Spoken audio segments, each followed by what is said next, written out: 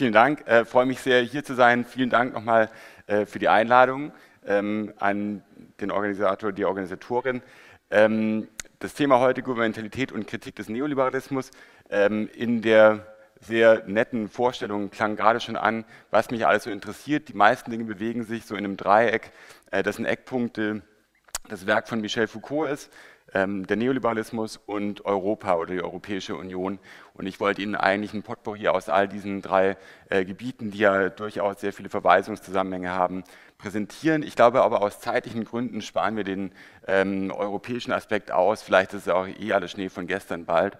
Äh, von daher ähm, schauen wir mal, äh, dass wir zunächst nur über Gouvernementalität und Neoliberalismus sprechen. Ähm, das hier ist der Überblick. Sie können mich gut hören, nehme ich an, oder? Genau, okay.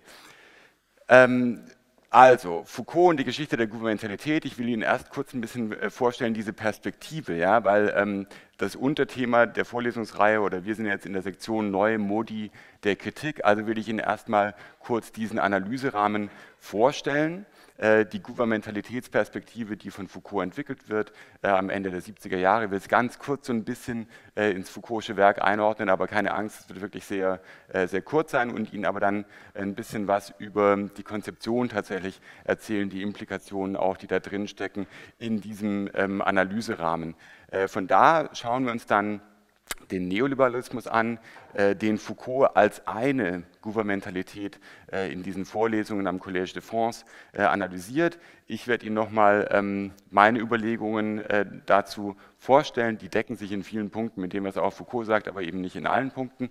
Ähm, und ähm, werde versuchen, Ihnen eine, sagen wir mal, Arbeitsdefinition des Neoliberalismus anzubieten. Das ist ein eher unangenehmer Begriff, äh, wie viele von Ihnen äh, vielleicht auch finden. Und deswegen äh, ist es wichtig, dass wir da auf jeden Fall so eine Geschäftsgrundlage haben. Und dann geht es darum, neoliberal regieren und regiert werden. Ja? Und da geht es dann wirklich auf die, um die Foucault'sche Perspektive äh, auf den Neoliberalismus. Das ist nämlich die Frage, wie neoliberal regiert wird und wie wir neoliberal regiert werden. Ähm, da geht es in erster Linie mal um Subjekte und wie gesagt, wenn wir mehr Zeit hätten, dann würde ich auch über politische Ökonomien sprechen, nämlich ähm, europäische politische Ökonomien, äh, die im Gefolge der Staatsschuldenkrise und durch neue Governance-Strukturen auf eine bestimmte Art und Weise regiert werden. Aber vielleicht gibt es eine Möglichkeit, äh, nochmal darauf zurückzukommen, vielleicht auch in der Diskussion äh, im Anschluss an den Vortrag. Und dann Abschließend, das heißt neue Modi der Kritik, also müssen wir darüber sprechen, äh, was für eine Art von Kritik wird hier formuliert. Ähm, und das ist ein sehr umstrittenes Thema von jeher im Zusammenhang mit äh, Foucault. Ich werde Ihnen einige Überlegungen hier vorstellen, dann können wir darüber sprechen, ob das überhaupt irgendwas mit Kritik zu tun hat. Ähm, ja, ich wandere immer mal so ein bisschen durch die Gegend. Ich wandere in diese Richtung, weil hier die Kamera mich noch einfängt. Es ist nicht so, dass ich von Ihnen weit weg sein möchte. Aber wenn ich hier rüber wandere, dann bin ich nicht im äh, Bild. Deswegen äh, sehen Sie mir es nach, wenn ich in die Richtung eher wandere. Ich habe gedacht, äh, wir fangen gleich mit einem Bild an. Wer weiß, wie viele noch kommen. Das ist Michel Foucault, 1926 bis 1984. Äh, viele von Ihnen werden es kennen, werden ihn kennen ähm, französischer Philosoph, der insbesondere auch als Philosoph der Macht natürlich ähm, bekannt und berühmt geworden ist. Foucault selbst hat sein Gesamtprojekt mal beschrieben als äh, eine Geschichte der Gegenwart, äh, die geschrieben werden soll. Ähm, es gibt eine heiße Debatte darüber, ob ähm, das Werk von Foucault in unterschiedliche Phasen zu unterteilen wäre, die teilweise auch äh, sich ähm, widersprechen oder ob so eine Art Bildungsroman ist, wo Foucault sein Denken immer weiterentwickelt und alte Vorstellungen über Bord wirft. Foucault selbst hat behauptet, dass durch sein ganzes Werk eigentlich diese drei Achsen durchlaufen, nämlich die Achse des Wissens, die Achse der Macht, die Achse des Subjekts in äh, manche, ähm, äh, eine Achse steht manchmal mehr im Vordergrund als die andere, deswegen sind hier die verschiedenen Werke auch entsprechend zugeordnet. Aber alle drei Achsen kommen immer in gewisser Art und Weise zur Geltung. Die erste Achse des Wissens, Wissen ist nicht gleichzusetzen mit Information, sondern da geht es um Wahrheitsregime, wenn man so will. Es geht um die Art und Weise, wie Wahrheit produziert wird, in historisch variabler Art und Weise, auch in unterschiedlichen institutionellen Kontexten. Das ist ein Komplex, den Foucault interessiert. Dann natürlich die Frage von Machtregimen, wie Macht funktioniert, wie Macht ausgeübt wird. Und das ist natürlich auch ein Punkt, der im Mittelpunkt stehen wird äh, im, in den folgenden Ausführungen. Und dann noch die Frage des Subjekts. Und da geht es um Subjektivierungsregime, also die Art und Weise, wie unterschiedliche Arten von Subjekten produziert werden. Und Sie werden sehen, wenn es um die Gouvernementalität geht, äh, tauchen all diese drei Achsen auch tatsächlich wieder auf. Das nur einfach so kurz ähm, zur Einordnung. Äh, die Vorlesungen zur Geschichte der Gouvernementalität, um die es gleich drehen wird, finden statt 1978, 79, also in so einer, ähm, in so einer kreativen Lücke, sagen wir es mal so, äh, zwischen 1976 und 1984, äh, wo keine Bücher von äh, Foucault erscheinen. Und äh, in gewisser Weise ist es auch ähm, ein Versuch, quasi die Machtanalyse äh, aus diesen früheren Werken, die Sie vielleicht besser kennen, Überwachen und Strafen äh, und der Wille zum Wissen, Sexualität und Wahrheit 1, ach so, ist schon weg. Ne? Ähm, aber ich sehe es noch, ich lese Ihnen einfach alles vor. ähm, es ist der Versuch, hier was weiterzuentwickeln. Ich rede einfach mal fröhlich weiter und ähm, wir warten, was passiert. Ich erzähle Ihnen erstmal, äh, was denn der Einsatz ist quasi in dieser Idee, ähm, der Geschichte der Gouvernementalität. Das sind zwei Punkte, äh, die hier von Bedeutung sind. Einmal ist es ein neues ähm, Begriffsinstrumentarium, das verwandt wird, um Machtverhältnisse zu analysieren. Ähm, davor, vor diesen Vorlesungen, ja, das sieht doch ganz gut aus eigentlich, hatte Foucault über Macht gesprochen, ähm, vor allem in militärischen Metaphern. Es ging um Strategien, Taktiken, Kräfte und Mächte. Und darüber hinaus äh, ist der Begriff der Disziplin hier von zentraler Bedeutung. Wie gesagt, wenn Sie sich ein bisschen, schon ein bisschen mit Foucault vertraut gemacht haben, dann wird Ihnen vor allem der Begriff der Disziplin vermutlich ähm, irgendwas sagen. Und nun wird eine neue äh, Begrifflichkeit hier eingeführt zur Analyse der Machtverhältnisse. Und das sind Begriffe wie Regieren, Regierung und Führung, äh, also Conduit und, ähm, und Gouverner. Ah, okay, ah, jetzt sind wir hier drüben. Alles klar. So, genau, da muss ich, ähm, genau.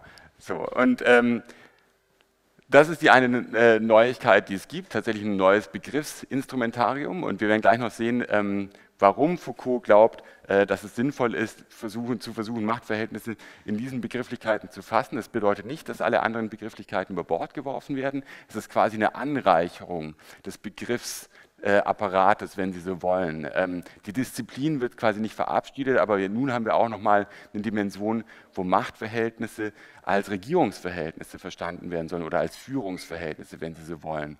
Und die zweite große Neuerung ist, äh, dass zum ersten Mal in äh, Foucaults Werk der Staat tatsächlich explizit zum Gegenstand der Analyse wird und eben nun gerade mit diesem Begriffsinstrumentarium auch in den Blick genommen werden soll. Zuvor hieß es immer, die Macht muss dezentral analysiert werden und der Staat war quasi bewusst ausgespart. Es ging um Mikro, Mikrophysik der Macht, wie es dann hieß, äh, und Mikropraktiken auch der Macht. Und nun soll also zum ersten Mal in gewisser Weise mit dieser Geschichte der Gouvernementalität auch die Geschichte des Staates oder eine andere Geschichte des Staates eigentlich ähm, erzählt werden.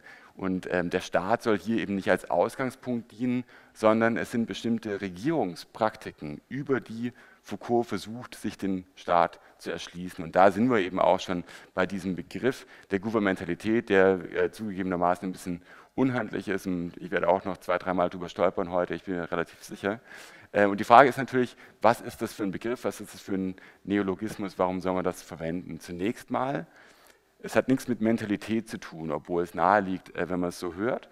Ähm, der Begriff ist abgeleitet äh, vom Gouvernemental, also die Regierung betreffend oder Regierungsbindestrich, was im Gegensatz zu Souverän steht, also souverän. Und das sagt Ihnen schon, dass Foucault versucht, eine Analyse des Staates zu leisten, die nicht als Ausgangspunkt beispielsweise staatliche Souveränität wählt, sondern eben tatsächlich Praktiken des Regierens. Und das ist jetzt auch noch ein bisschen ungenau gesprochen, weil es geht, wie hier auch ähm, steht, eine Umschreibung von Foucault äh, darüber, was die Gouvernementalität ist oder auch Regierungsweise wäre ein anderes Synonym, ist die reflektierte Praxis des Regierens. Ähm, und das scheint mir nun ein entscheidender Einsatz tatsächlich zu sein, die reflektierte Praxis des Regierens. Äh, und davon gibt es eben tatsächlich im zeitlichen Ablauf, wenn Sie so wollen, äh, eine ganze Geschichte, die Foucault zurückverfolgt bis in äh, das späte Mittelalter, die frühe Neuzeit, also ins 16. Jahrhundert so in etwa,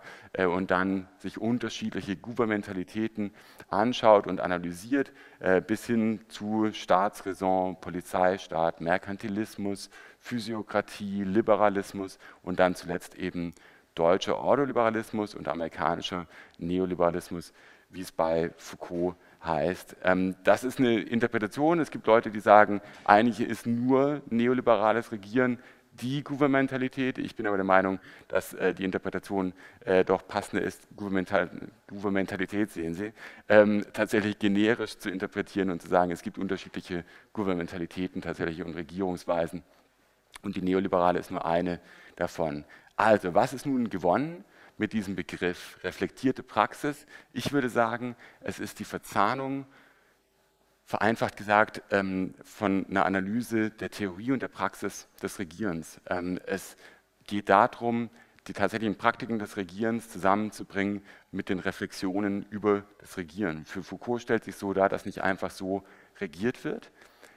Zunächst muss es erstmal eine Reflexion darüber geben, was überhaupt zu regieren ist. Und das klingt wie eine sehr triviale Frage, ist es aber überhaupt nicht. Um Ihnen sofort ein Beispiel zu geben, quasi für die Verschiebung von einer Regierungsrationalität, und da haben Sie die nächste Unterscheidung äh, zur anderen, ist ein Beispiel, das Foucault äh, auch selbst behandelt.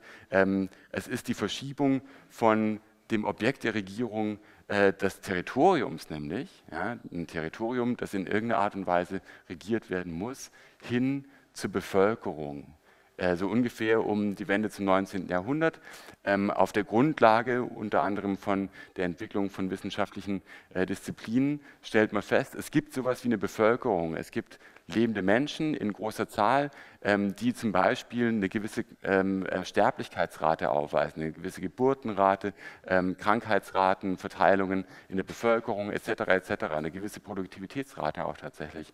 Und nun verschiebt sich der, quasi der Fokus des Regierens, ähm, laut Foucault jedenfalls, von der Regierung des Territoriums auf die Regierung der Bevölkerung. Und das sagt Ihnen, ne, das ist keine triviale Frage, was überhaupt regiert werden soll, die Reflexion darüber. Aber daran geknüpft sind natürlich auch andere Fragen. Ähm, wenn klar ist, was regiert werden soll, ist die Frage, wie soll es regiert werden? Äh, und wie wird es regiert in der besten Art und Weise? Was sind überhaupt die Kriterien für gutes Regieren und für besseres Regieren? Ist es gerechtes Regieren oder effizientes Regieren beispielsweise?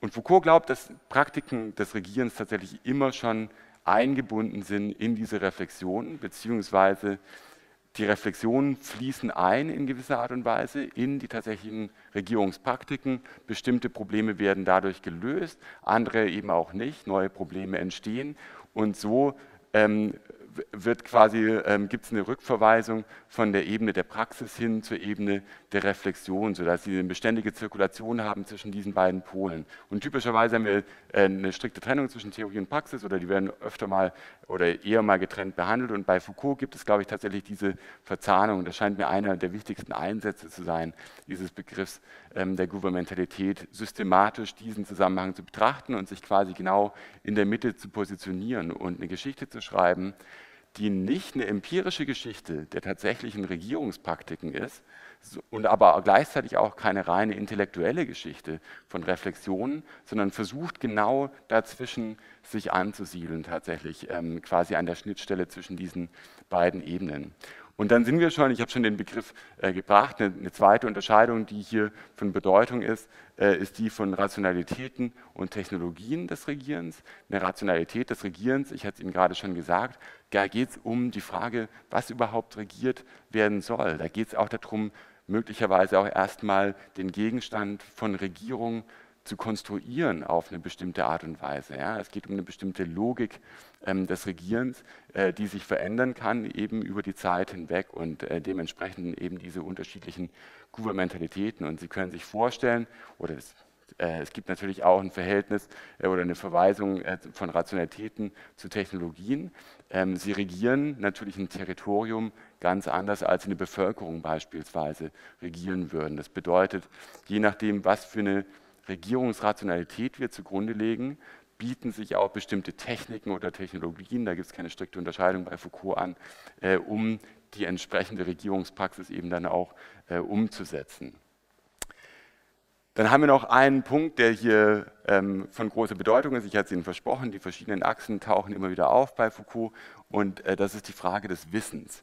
Ähm, natürlich, wenn irgendwas regiert werden soll, ähm, ist es hilfreich, Wissen ähm, über dieses Objekt äh, zu generieren. Und das zeigt Ihnen, dass eine organisierte Wissensproduktion, wissenschaftliche Wissensproduktion von größter Bedeutung für Regierung ist. Ähm, ich will Ihnen nur ein Beispiel geben und da sehen Sie auch schon, dass ähm, die Gegenstände des Regierens in gewisser Weise auch immer Konstruktionen sind. Also eine Bevölkerung, ne, ich hatte es Ihnen gesagt, mit den verschiedenen Raten und so weiter, ist natürlich in gewisser Weise äh, eine statistische ähm, Produktion, äh, eine Produktion auf der Basis von statistischem Wissen.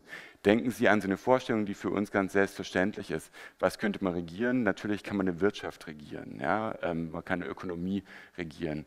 Aber die Voraussetzung dafür ist natürlich, dass wir erstmal eine Art von Wissens, eine organisierte Wissensproduktion über sowas wie eine Ökonomie haben. Was ist eine Ökonomie? Was ist eine Wirtschaft? Äh, wo sind die Grenzen zwischen Wirtschaft und anderen gesellschaftlichen Sphären? Was messen wir wenn wir eine, Gesellschaft, eine Wirtschaft untersuchen? Sind es Ströme beispielsweise oder können, können sie auch anders konzeptionalisiert werden? Und da sehen Sie, dass die Wissensproduktion, und wie gesagt, das ist nicht einfach nur Informationen, die gesammelt werden, sondern tatsächlich die Möglichkeit, wahre Sätze über irgendwas zu sagen, äh, von sehr großer Bedeutung ist, um es vorsichtig auszudrücken, ähm, für äh, eine bestimmte Regierungsweise. Letzter Punkt und äh, dann sind wir auch schon durch die schwierigsten Punkte durch, hoffentlich.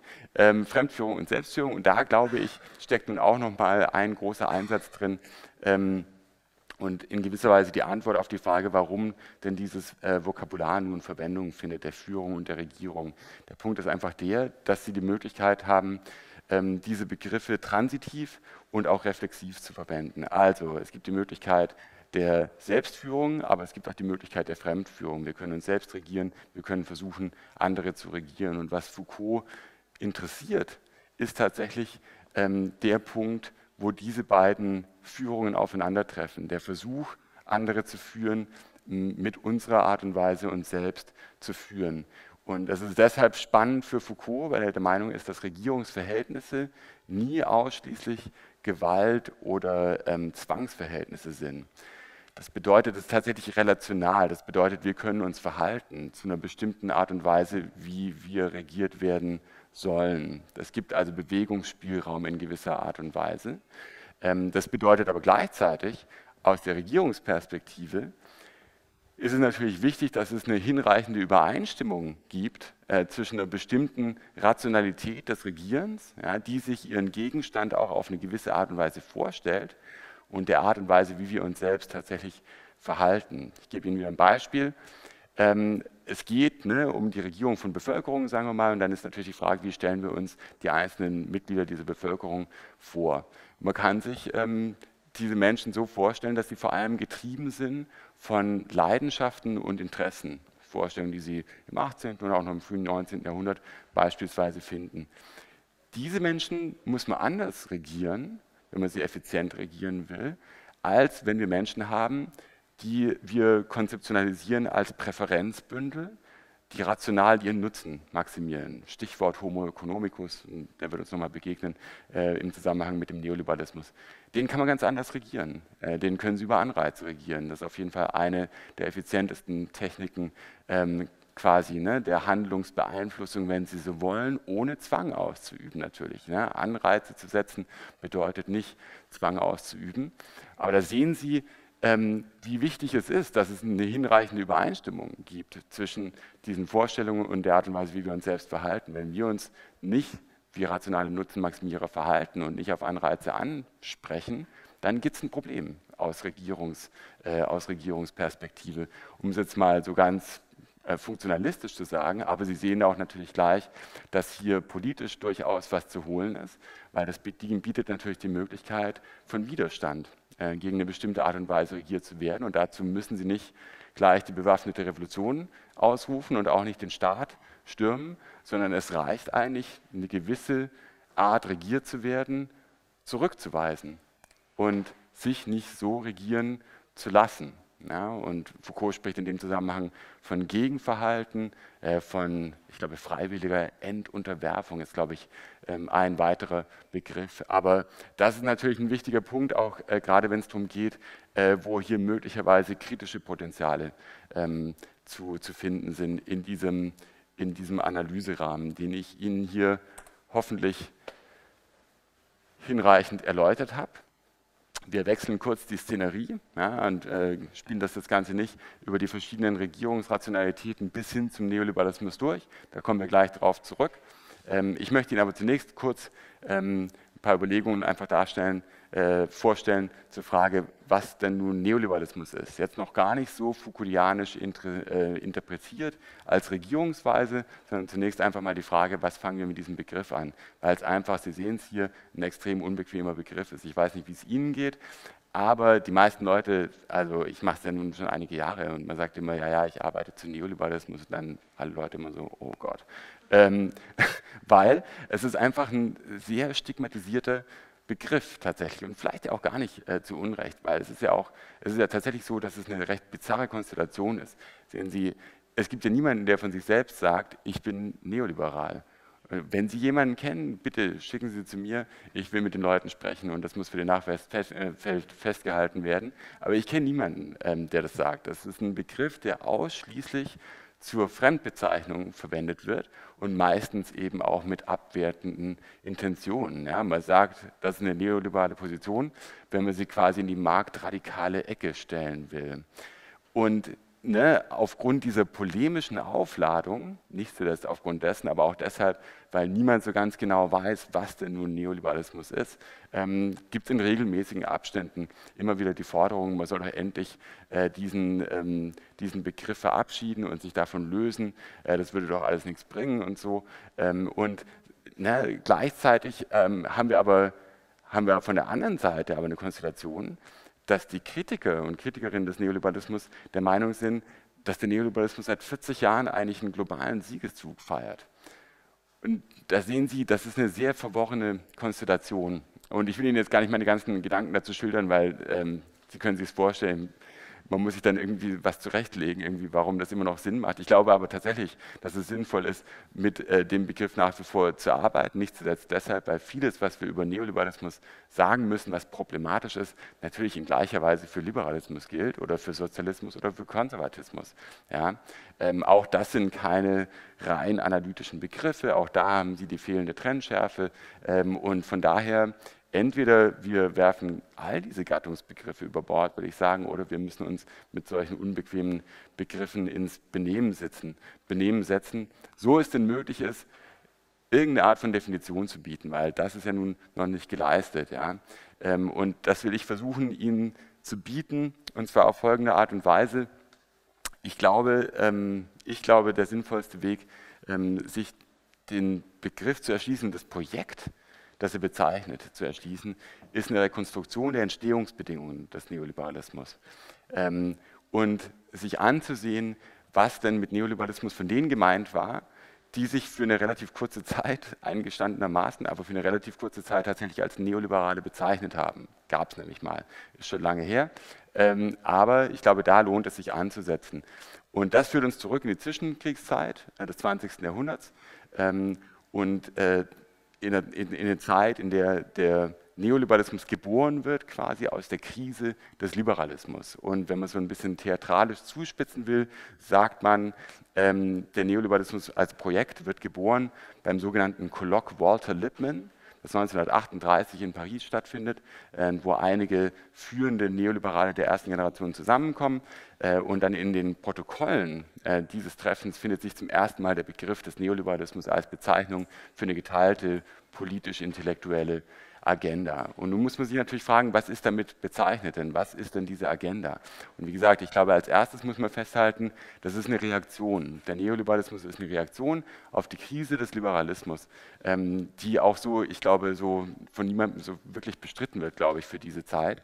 Ähm, die Phänomene sind einfach zu, zu vielfältig, ähm, als dass man das so richtig bestreiten könnte. Also beginnend mit, mit dem Ersten Weltkrieg, äh, Kriegswirtschaft, äh, vielfach Planwirtschaft in vielen Fällen, äh, Weltwirtschaftskrise ähm, und die Reaktion darauf, beispielsweise der New Deal in den USA, ähm, darüber hinaus Aufstieg des Keynesianismus äh, im Laufe der 30er Jahre vor allem und dann natürlich ähm, die Existenz eines sowjetkommunistischen Regimes, ja, auch insgesamt ähm, der Kommunismus quasi als eine eher, sagen wir mal, illiberale politische Kraft äh, und dann auf der anderen Seite natürlich äh, Faschismus und Nationalsozialismus als extrem illiberale politische Kräfte.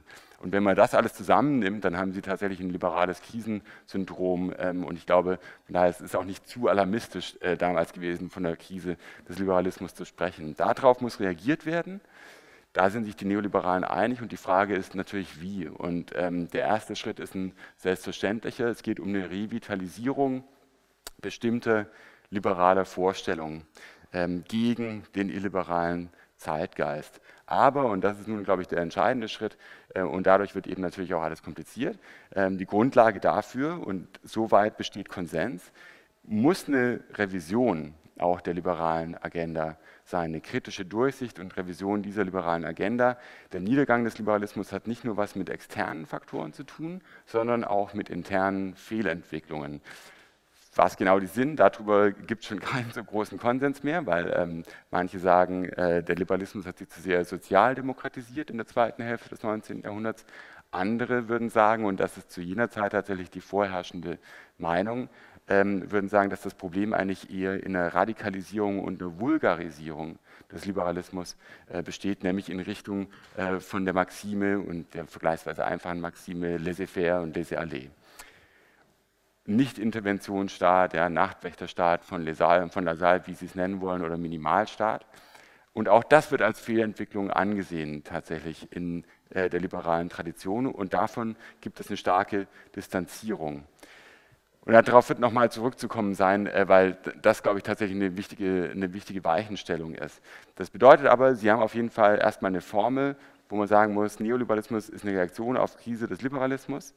Es geht um eine Revitalisierung des Liberalismus auf der Grundlage von einer kritischen Revision. Das bedeutet, es ist kein restauratives Projekt. Es geht nicht darum zu sagen, wir gehen zurück zu Adam Smith, weil der hatte schon die fundamentalen Einsichten und die müssen wir nur einfach wiederentdecken.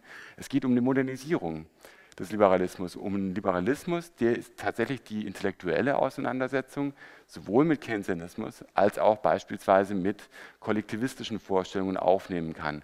Und das können sie nicht alleine auf der Grundlage von Adam Smith. Ja, und in dem Sinn ist eben der Begriff Neoliberalismus gar nicht so schlecht gewählt, weil es tatsächlich um eine Erneuerung ähm, des liberalen Denkens, um eine Modernisierung ähm, des modernen Denkens geht. So, Soweit die Formel. Das sagt uns natürlich noch nicht ganz so viel Substanzielles, obwohl immerhin schon mal was äh, gewonnen ist, glaube ich, damit.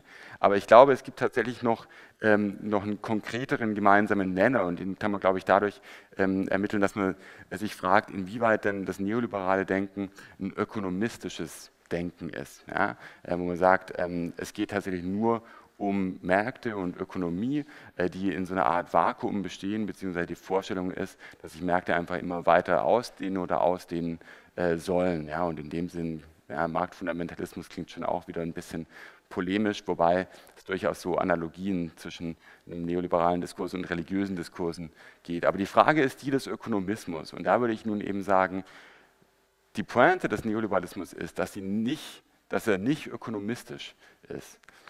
Denn wenn es überhaupt eine geteilte Überzeugung gibt unter den Neoliberalen, dann ist es natürlich, dass Märkte ja, von fundamentaler Bedeutung äh, für Gesellschaften sind. Also da gibt es sicherlich einen gemeinsamen Nenner, und zwar funktionierende Märkte. Und da fangen natürlich schon die Schwierigkeiten an, was genau bedeutet funktionierende Märkte. Und noch spannender wird es, wenn Sie die nächste Frage dran knüpfen. Und das ist nun, glaube ich, das ist die Problematik, ja, die geteilte Problematik des Neoliberalismus. Und das ist der gemeinsame Nenner. Die Frage ist, was sind die Bedingungen der Möglichkeit für funktionierende Märkte? Das ist die große Frage. Und da haben Sie ganz unterschiedliche Antworten, aber ganz klar ist für alle Neoliberalen, das verweist auf eine nicht ökonomische Sphäre. Ähm, das verweist auf nicht ökonomische Akteure, die diese Bedingungen herstellen müssen. Wenn laissez-faire keine Option mehr darstellt, das ist immer die Voraussetzung. Aber für die frühen Neoliberalen ist es keine Option. Das bedeutet, sie sind sofort mit der Frage konfrontiert, was muss ein Staat machen, um Märkte zu ermöglichen, ja, aufzubauen und auch zu erhalten. Welche Handlungen sind im Staat erlaubt? Ja, was sollte er tun? Was darf er auf keinen Fall tun? Was kann er tun? Welche Aufgaben fallen ihm zu? Wie, diese, wie, muss dieser Staat intern strukturiert sein beispielsweise? Und natürlich wichtige Frage, wenn nicht vielleicht eine der schwierigsten Fragen für die Neoliberalen, wie wird das alles verkompliziert? Dadurch, dass es ein demokratisch verfasster Staat ist. Das könnte ja alles nochmal sehr viel schwieriger machen.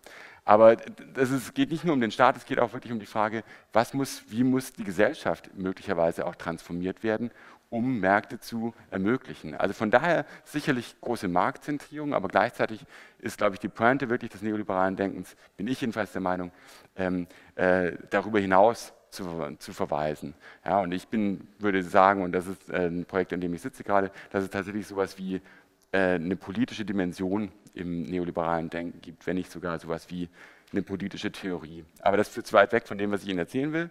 Ähm, trotzdem wollte ich Ihnen kurz auf jeden Fall mal erwähnt haben. Genau, wir haben Bilder, ein Glück. Ähm, danach kommen nicht mehr viele, ich muss Ihnen gleich sagen. Äh, deswegen habe ich hier alle gleich draufgepackt. Äh, nur damit Sie mal sehen, wie die alle aussehen, sind alles Männer. Ähm, und ähm, von Foucault ja, kriegen Sie vor allem was zu hören über Walter Eucken, also der ähm, Spiritus Rector, würde man wohl sagen, der deutschen Ordoliberalen, auf die gleich nochmal zurückzukommen sein wird. Äh, über Wilhelm Röpke äh, gibt es einiges zu hören, über Hayek ein kleines bisschen und vor allem über Gary Becker der für mich aber so ein Grenzfall ist, ähm, der so für meine Definition von Neoliberalismus äh, tatsächlich so an der Grenze ist. ist aber wie gesagt jetzt nicht äh, die große Frage, weil wir befassen uns ja in erster Linie mit dem, was Foucault hierzu zu sagen hat. Äh, von wem man überhaupt nichts hört, sind Leute wie Milton Friedman äh, oder James Buchanan äh, beispielsweise von, von Foucault, aber das ist nun auch eine Frage, die uns nicht weiter beschäftigen soll. Sie sehen auch, als Neoliberaler wird man normalerweise unglaublich alt, ähm, außer, außer Walter Eucken tatsächlich. Walter Eucken ist der Einzige, der früh gestorben ist. Sie sehen, alle anderen erfreuten sich fantastischer Gesundheit. Ähm, was auch immer das bedeuten mag. Ähm, ja, so, und damit sind wir beim neoliberalen Regieren und schwenken jetzt quasi wieder zurück und fragen uns, was hat Foucault äh, mit, dem, mit all dem am Hut oder was hat er damit angefangen? Zunächst muss man einfach mal Foucault kurz loben. Ja? Ähm, und also nicht, dass ich jetzt einfach nur Fan wäre, aber man muss ihn tatsächlich loben, weil er sich mit diesen Sachen befasst zu einer Zeit, als es niemand sonst tut eigentlich. Also jetzt mal zugespitzt ausgedrückt. Aber sehen Sie, das ist ja 1978, 79. Das ist vor Thatcher und Reagan. Ähm, es gibt Chile schon ja, als äh, neoliberales Versuchslabor, äh, aber darüber wird auch nicht groß nachgedacht, glaube ich, in äh, der linken in, in intellektuellen Welt, äh, der OECD-Welt. Ja. Ähm, und wenn überhaupt äh, so über so Phänomene gesprochen wird wie Hulk und so weiter, dann spricht man von einer neuen Rechten, also ganz un, unspezifisch. Der Begriff des Neoliberalismus ähm, kommt da gar nicht vor im Diskurs tatsächlich. Und in der Situation schon quasi den Weitblick zu haben, äh, am Anfang von der zweiten Vorlesungsreihe äh, sagt Foucault, äh, wir beschäftigen uns jetzt mit der Gouvernementalität, die unsere Gegenwart bestimmt und sagt dann im nächsten Schritt, äh, das ist der Neoliberalismus äh, de, des Nachkriegsdeutschlands. Ähm, Sie können sich vorstellen, die Studierenden waren wahrscheinlich äh, eher perplex, das zu hören. Ähm, nicht zuletzt deshalb, weil man sich wahrscheinlich gefragt hat, äh, Neoliberalismus des Nachkriegsdeutschland, was sind das für Leute? Ähm, und das ist tatsächlich der Ordoliberalismus, der extrem obskur ist ja? und damals schon relativ obskur war und es auch bis vor kurzer Zeit ähm, noch immer war und den Foucault geradezu in den Mittelpunkt stellt, seine Analyse des Neoliberalismus und sagt, da finden tatsächlich die Innovationen statt, ähm, vom Liberalismus hin zum Neoliberalismus. Also höchst interessant, will ich einfach nur sagen, und für die Zeit eben einfach sehr, sehr ungewöhnlich. Ja? Und ähm, diese Vorlesungen kommen erst viele, viele, viele Jahre später raus. Äh, auf Deutsch erscheinen die erst 2004 und haben dementsprechend eben auch für eine gewisse Furore gesorgt, weil man sich also natürlich gefragt hat, wow, so viel Ordoliberalismus, was ist das? Ähm, ich sage es Ihnen, was ist das? Der Ordoliberalismus ist einfach so eine ganz frühe Schule des Neoliberalismus, weil es wurde auch schon neoliberal gedacht, bevor es den Begriff quasi gab, ja, also schon vor 1938. Und Foucault glaubt, dass die wesentliche Neuerung in der Regierungsweise folgende ist. Und da sehen Sie, der entscheidende Punkt oder die also wichtige Punkte in der Frage der Gouvernementalität ist immer wieder die Frage, was muss regiert werden und welche Attribute haben diese Objekte, die wir zu regieren haben, weil das natürlich Einfluss darauf hat, wie man sie effizient regiert und was die geeigneten Technologien oder Techniken des Regierens sind. So, und die entscheidende Neuerung in der Rationalität des Regierens sieht folgendermaßen aus. Ähm, vereinfacht ausgedrückt ja, stellen sich die Liberalen vor, ähm, exemplifiziert vor allem durch Adam Smith, wird vielen von Ihnen Begriff sein, ähm, stellen sich die Dinge folgendermaßen vor. Märkte sind natürliche Phänomene. Die entstehen natürlicherweise aus der natürlichen Veranlagung oder Neigung ist das bessere Wort äh, der Menschen, nämlich to truck, barter and exchange, wie es auf Englisch heißt, ähm, nämlich zu tauschen und zu handeln, ja, miteinander Tauschgeschäfte zu betreiben. Das ist eine ganz natürliche Veranlagung, deswegen gibt es nichts Natürlicheres, als dass Tauschmärkte entstehen, ja, die vorgestellt werden als Schauplätze von Tauschgeschäften, die im gegenseitigen Interesse und in dem Sinne eben auch im allgemeinen Interesse stattfinden.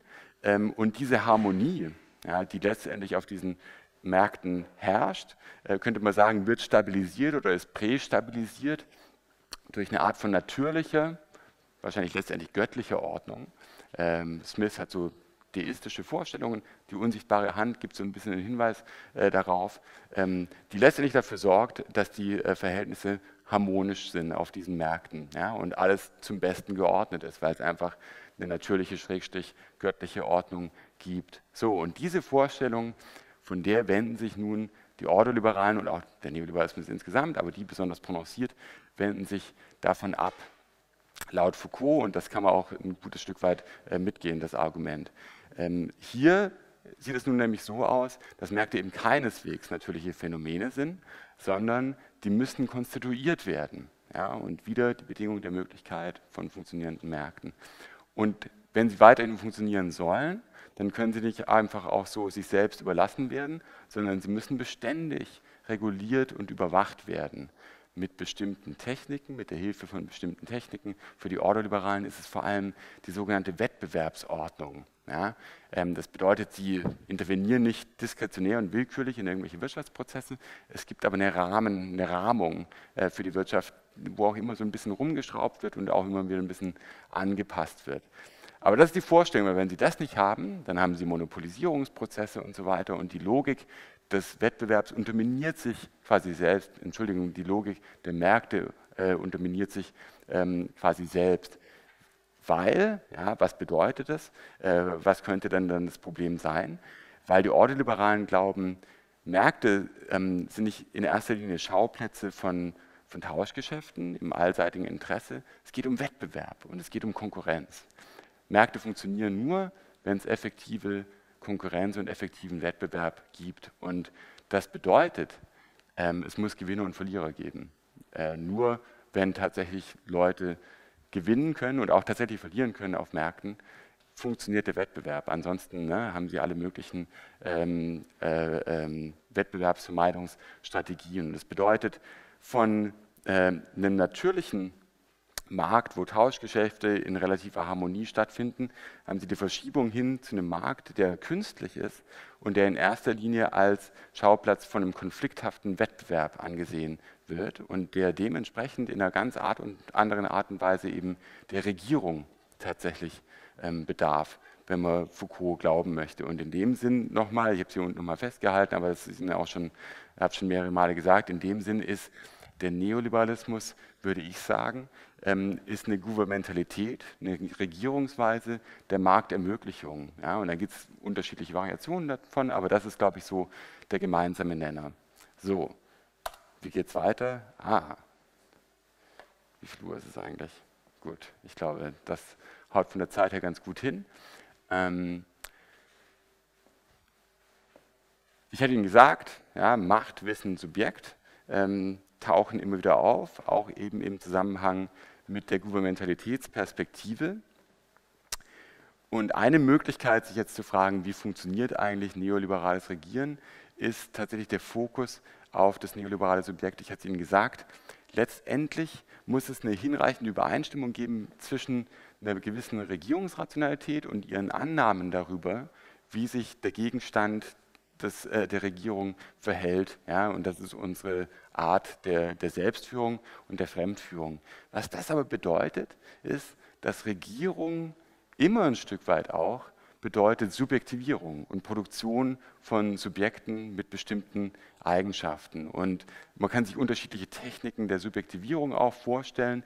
Ähm, ich glaube, man erklärt es am besten mit Verweis auf so einen Begriff äh, wie Interpellation, der hier auch ähm, genannt wird, Anrufung. Und das ist die Frage, wie wir angesprochen werden, als welche Art von Subjekt wir von gesellschaftlichen Instanzen, mal ganz allgemein gesagt, angesprochen werden und so als in der Tendenz als neoliberales Subjekt ähm, konstituiert werden oder wenn Sie so wollen, ähm, produ produziert werden.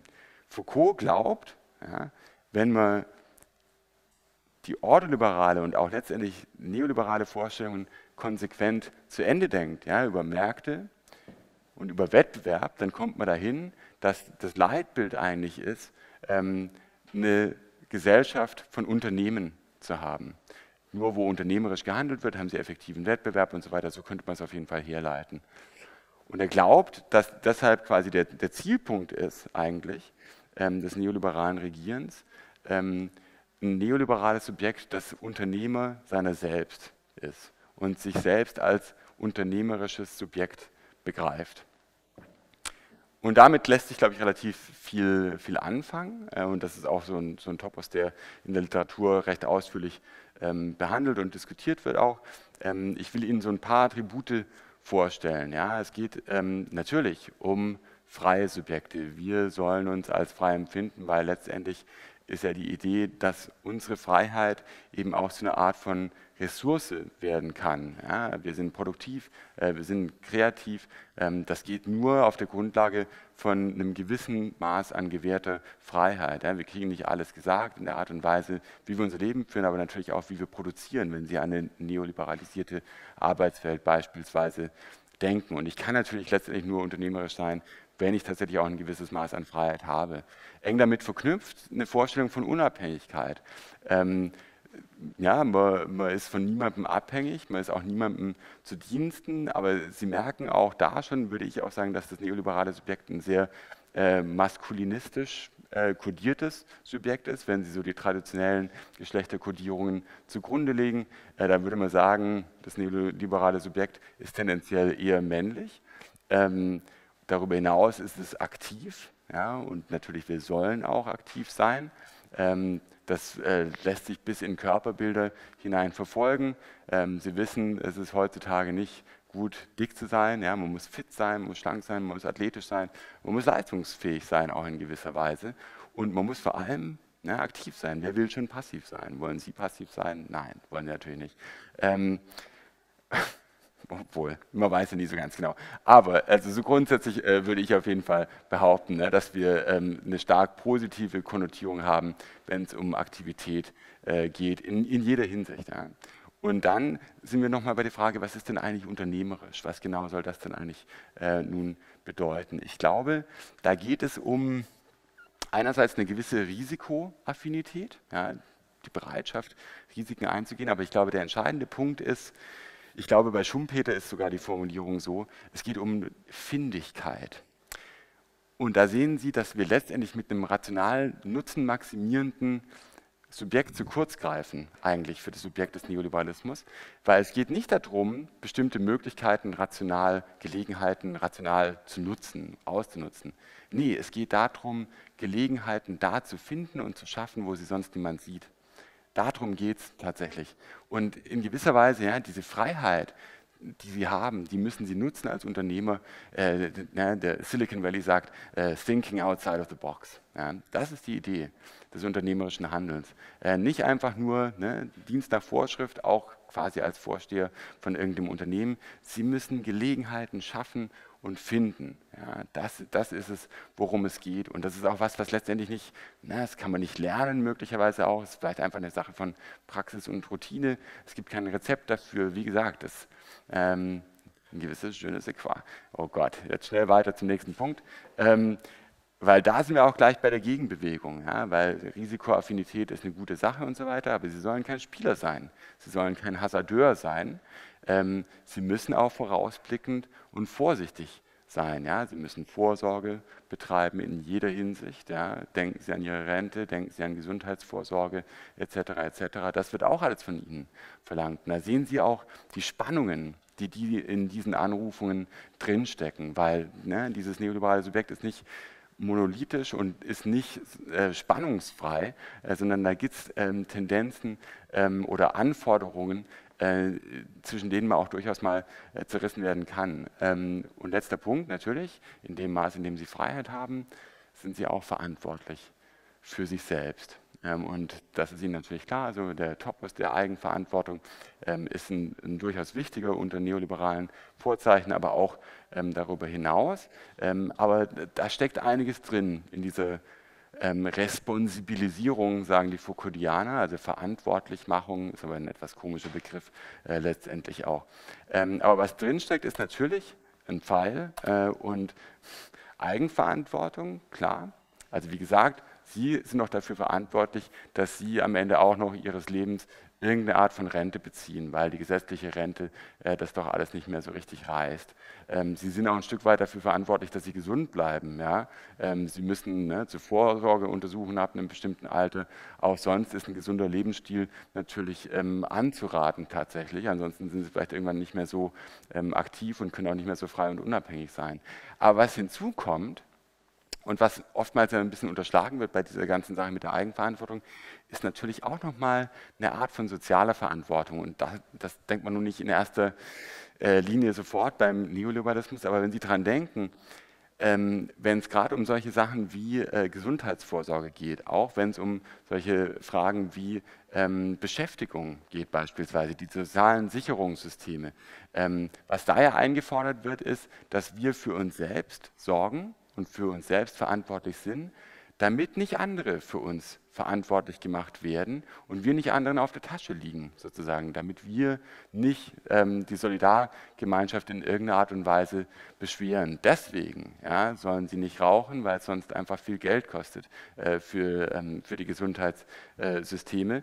Äh, und sie sollen ordentlich in ihr Humankapital investieren, damit sie später einen Job kriegen und nicht die ganze Zeit ähm, in der Arbeitslosenversicherung oder auf Hartz IV hängen. So ist der Diskurs in etwa. Und das ist nicht, da geht es nicht nur darum, Sie anzurufen und bei der Ehre zu packen und zu sagen, übernehmen Sie mal für Ihr eigenes Leben Verantwortung, es fühlt sich auch gut an. Also der Aspekt, den gibt es ja auch noch. Ja?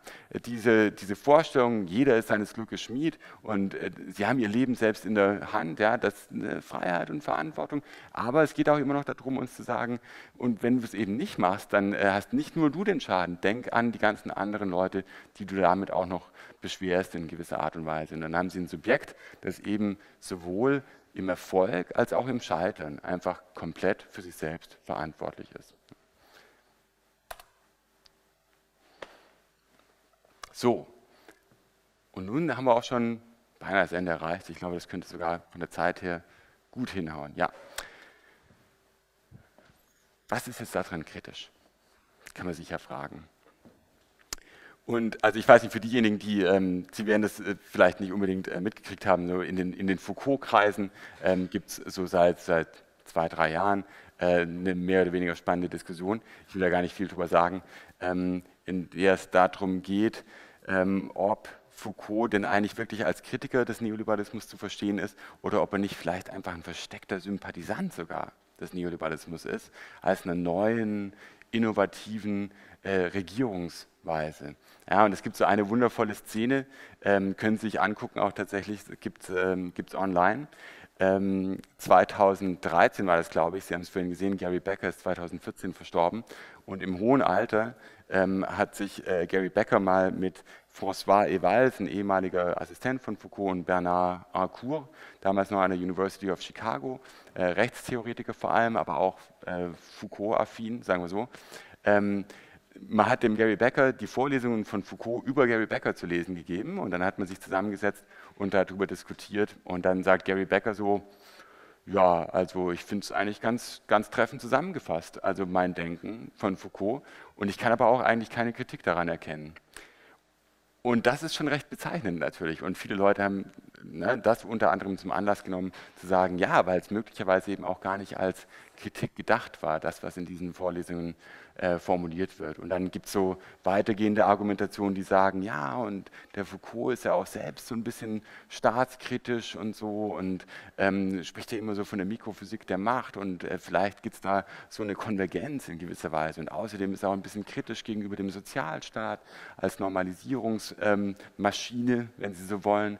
Und deswegen gibt es doch möglicherweise da auch so eine, so eine versteckte, mehr oder weniger versteckte Affinität. Wie gesagt, ich will da gar nicht so viel dazu sagen, weil ich glaube, es ist letztendlich keine hilfreiche ähm, Diskussion, ähm, weil letztendlich, was von Foucault verlangt wird, also wie gesagt, ich will es eben auch nicht dadurch aufwerten, dass ich jetzt in jedem einzelnen Punkt äh, das widerlege. Ich glaube, es kann ganz gut widerlegt werden.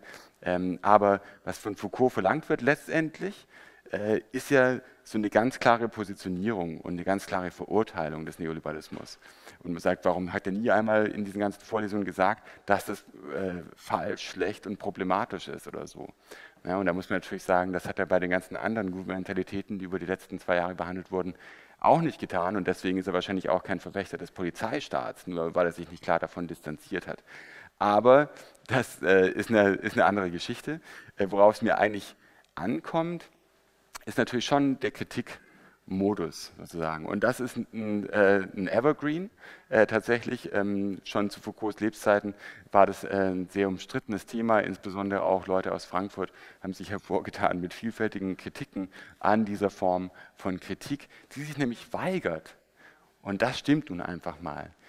Die sich weigert, für ihre Kritik klare normative Argumente und Gründe anzubieten. Wie man in Frankfurt sagt, äh, die normative Grundlage oder das normative Fundament fehlt. Und wenn Sie sich das angucken, wenn Sie sich die Vorlesungen angucken, das stimmt. Ja? Ähm, und das können Sie zum Beispiel auch auf das übergeordnete Thema beziehen, nämlich die Staatsanalyse. Vergessen Sie nicht, wir sprechen nicht einfach nur über Neoliberalismus. Das Ganze sollte dazu dienen, Staatlichkeit zu analysieren. Und Sie hören von Foucault kein Wort jemals über so eine Frage wie Legitimation oder so. Es geht auch nie über Demokratie beispielsweise. Bei dem ganzen, ne, bei, der, bei den zwei, zwei Vorlesungsreihen über Staat, kein Wort über Demokratie, ähm, obwohl irgendwann mal ne, in der analysierten Zeit das auch mal eine Rolle spielt. Aber es ist tatsächlich die Weigerung oder die weitestgehende Weigerung, normatives Vokabular ins Spiel zu bringen. Und das gilt eben sowohl für die Analyse von Staatlichkeit als auch für die Analyse des Neoliberalismus. Also ist die Frage, was kriegen wir überhaupt da? Was für eine Art von Kritik ist das? Ähm, und dazu werde ich sicherlich auch nicht das letzte Wort äh, sagen, aber ich will Ihnen äh, meinen Vorschlag äh, unterbreiten zumindest, was wir kriegen. Erstmal sind die Modalitäten der Macht und ähm, ne, wenn wir über Europa gesprochen hätten, dann hätte ich es, glaube ich, noch besser erläutern können. Aber vielleicht kommen wir noch mal im Lauf ähm, der Diskussion darauf zu sprechen. Es geht um die Funktionsweise von Macht. Und das ist gar nicht so trivial, genauso wie es nicht trivial ist, was denn nun eigentlich regiert werden soll. Auch Macht funktioniert auf unterschiedliche Arten und Weisen, äh, nutzt bestimmte Techniken und eben nicht andere. Und das tatsächlich auch auf der Mikroebene, durchaus auch auf der Makroebene, aber auf der Mikroebene zu analysieren, ist ein, ein sozusagen kritischer Gewinn dieser Art von Analyse. Denn nur, ja, wenn wir verstehen, wie bestimmte Machtmechanismen funktionieren, lässt sich dagegen auch in einer sinnvollen Art und Weise Widerstand leisten. Hinzu kommt noch, und das sollte eigentlich dem schon vorgelagert sein, hinzu kommt noch der Hinweis darauf, das sind immer historische Arbeiten, ähm, das verweist schon darauf, dass eben diese Mechanismen der Macht ja, und Funktionsweisen der Macht eben nicht in Stein gemeißelt sind. Ist auch nicht notwendigerweise so. War schon anders, kann auch wieder anders sein. Auch das ist natürlich eine Relativierung quasi dessen, was ist, ähm, was so ein transformatorisches Potenzial auf jeden Fall zumindest mal eröffnet oder denkbar erscheinen lässt. Zweiter Punkt, Wissen und Machteffekte da würde ich sagen, dass diese Foucault'sche Analyse äh, uns zumindest aufträgt. Sie macht das teilweise auch selbst, kommt darauf an, welches Werk man anschaut. Aber es geht darum, das Wissen auf seine Machteffekte hin zu befragen, ist eine sehr Foucaultianische Formulierung wahrscheinlich. Aber warum, worum es geht, ist doch ähm, einfach eine Analyse ähm, der, der Techniken der Wissensproduktion, die dann von so großer Bedeutung werden für unterschiedliche Regierungsweisen. Wenn Sie bedenken, wie viel von dem, was getan wird politisch, einfach auf irgendeine Art von, von Wissensproduktion und wissenschaftlicher wissenschaftliche Wissensproduktion beruht. Ja, das sind alles Sozialwissenschaften, das sind alles Humanwissenschaften. Ja, also denken Sie an die Wirtschaftswissenschaften, denken Sie an die Volkswirtschaftslehre, die von unglaublicher Bedeutung ist ähm, für zumindest das politökonomische Regieren. Und ähm, da muss auf jeden Fall, da muss nachgehakt werden, ja, da muss nachgefragt werden, ähm, was sind das denn für, für, Verfahren, wie hier wirtschaftswissenschaftliche Wahrheiten produziert werden und wie sind die, sind die hinterfragbar und wie wird hier auch Wirklichkeit konstruiert. In einer Art und Weise, die ja nicht unbedingt stimmen muss. Wenn Sie, äh, das ist ja nicht, ist alles nicht in Stein gemeißelt. Letzter Punkt. Was kostet es uns, neoliberal regiert zu werden? Das klingt schon unglaublich ökonomistisch und äh, auch so ein bisschen neoliberal, aber es ist auch eine Formulierung, äh, die man bei Foucault so findet ähm, und der quasi uns eine Bilanz aufmachen will. Ähm, und der sich fragt, welchen Preis bezahlen wir, um uns als neoliberale Subjekte zu konstituieren. Und ich hatte Ihnen vorhin schon so ein bisschen versucht, so äh, darzulegen, ne, dass äh, uns einiges aufgebürdet wird, ohne jetzt gleich in großes Mitleid mit uns zu verfallen. Ähm, aber ne, äh, die Verantwortlichmachung tatsächlich und diese widerstreitenden Imperative auch. Auf der einen Seite äh, muss man die Chancen beim Shop ergreifen, wenn sie nicht sogar selbst äh, ähm, äh, erschaffen. Äh, man muss ne, findig sein, man muss eine gewisse Affinität für Risiken aufweisen, aber gleichzeitig eben auch vorsichtig sein, diszipliniert, vorausschauend etc. etc. und dann eben doch nicht zu verrückt sein eben.